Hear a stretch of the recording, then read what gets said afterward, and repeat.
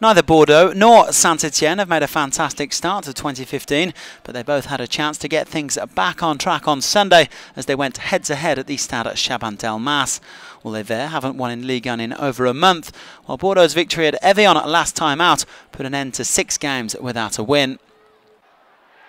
And the first chance going the way of the visitors. Yohan Mollo pulling back here for Franck Tabanou. A fine strike, but he could only find the side netting there. Oh, meanwhile, there was some wonderful interplay between Diego Rolan, Wahbi Khazri and Isaac Kiese here. But in the end, Khazri threw on goal, put that one high and wide into the stands. Would perhaps have been one of the goals of the weekend. But either way, the home side did get their noses in front before half-time. Diego Rolan picking up possession on the left and just having a go here. Stéphane Ruffier beaten at his near post. France goalkeeper perhaps not expecting that one. And a simple goal in the end. Fine finish from Rolan for his seventh goal in Ligue 1 this season.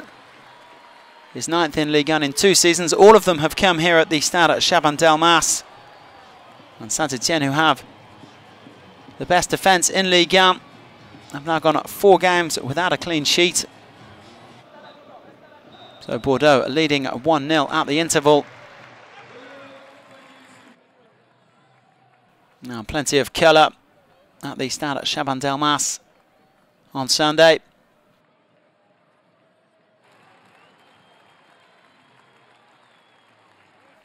So Christophe Galtier's men then had a wonderful chance to get back into the game. Bordeaux looking to play behind here with their defence, but it was given away. And Lever with a chance to counter. Max-Alain Gradel, recently champion of Africa with the Ivory Coast, but letting that chance go begging when he had Mevlut Erding in support.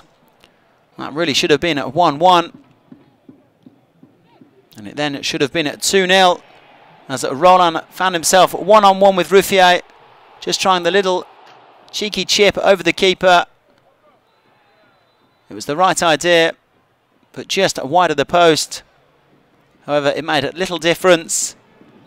As for the second week running, Bordeaux claimed a 1-0 win